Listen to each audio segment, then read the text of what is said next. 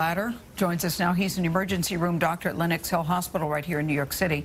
CBS News senior national security analyst Fran Townsend and CBS News law enforcement analyst Paul Viollis are also here. Good morning, Dr. Glatter. Thank you so much for having me. We had talked to Dr. David Agus later, earlier this morning. He was talking about the life and death decisions that have to be made when so many people are brought in with this kind of injury. Right. It's an ethical and moral dilemma uh, that all physicians, all healthcare providers go through because we try to save everyone, but unfortunately that's not the case.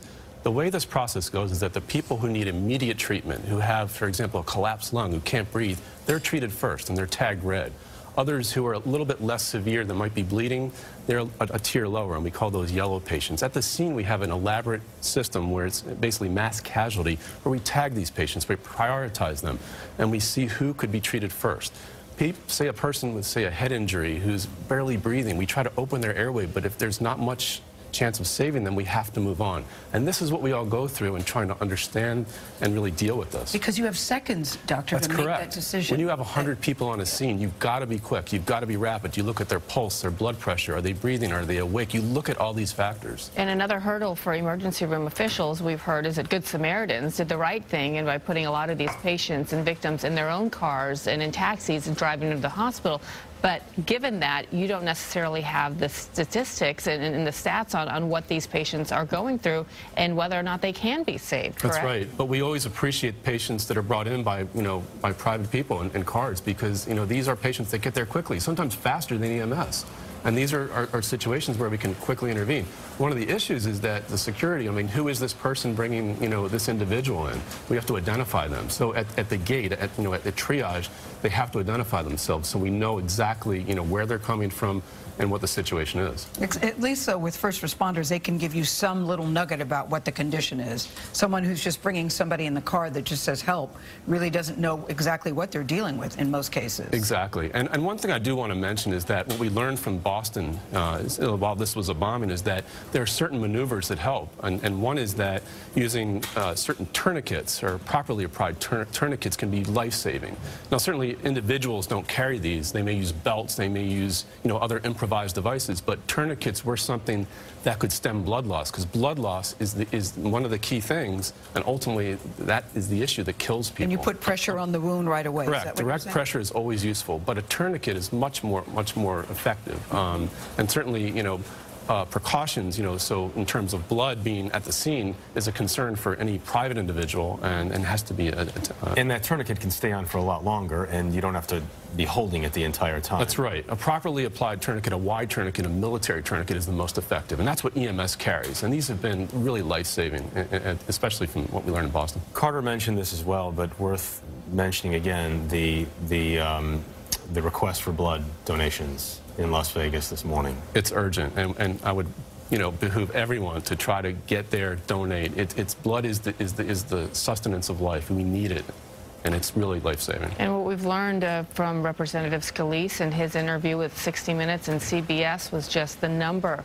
of surgeries that right. these victims are going to possibly have to endure over the next weeks and even months because of, of the type of weapon used, correct? Right. These automatic weapons cause devastating internal injuries. We may see an entry wound and an exit wound.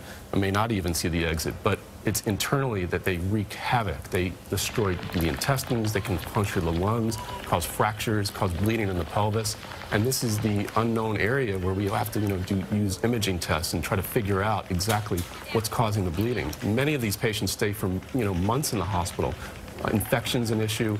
Um, we call hypothermia. These are all delayed consequences of, of such systemic trauma.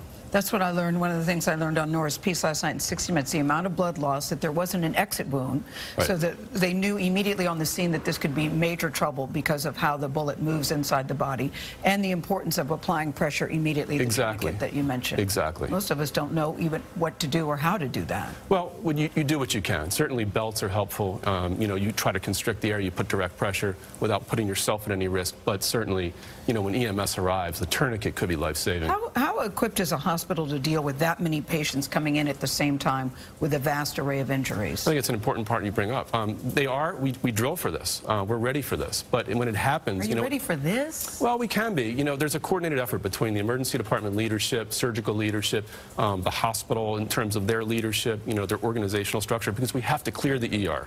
In other words, we have to make sure that any patients that are being worked up are moved to the floors or other areas to, to make room for the incoming patients. And how do you coordinate with other hospitals? Well, there's different networks. We all talk to each other. There's called VHF, or very high frequency networks, that you can actually internally message, text, or email within that network, and we all communicate. And that goes to police, fire, and EMS as well. So there, you know, there are multiple layers and categories of, of types of um, communication that are really imperative to this effort. And time is of the essence, and you have doctors on call. But uh, when you have something like this take place in the middle of the night, is it that more uh, pressing and difficult to get doctors in and wake them up? It is. It, it can be an issue, but I mean, there are always trauma surgeons in house, always ready to react, always to have an elaborate network go out of communication to all, you know, communicate and, and say that we're here, bring us all together, nurses, doctors, you know, respiratory techs, everyone. It's, it's an entire effort, and it's, it's a community. As a doctor, what did you think when you first heard this story? You know, when the story was first reported, it was two people dead. Then it jumped up to 20 people, and now it's jumped up to 50 and possibly higher. What did you think when you first heard the details that we've heard so far? I was horrified. I, you know, I, I always look at the initial reports, and I, I'm always suspicious because I know it grows. Knowing that the amount of firepower this man had and, and what it could do, I, I was very, you know, concerned that this could be a, a- an incredible, incredibly number more, more involved. the death toll was gonna go absolutely. higher. This was going to be something that was going to be a, a massive issue. And Dr. Glatter, you know, we heard ironically from a hospital official that they had just been briefed by somebody from Orlando's hospital that had treated the wounded from the Pulse nightclub Right. shooting. Uh, you mentioned the Boston bombing as well. How important is it for hospitals around the country to, to, to learn from past experiences and have the sort of hands-on uh, expertise from those who unfortunately had to be there and oversee them? It's incredibly important, and it's what we do. We communicate with each other. At conferences, you know, we present, we, we, we demonstrate our methods, and these methods have to be practiced over and over again.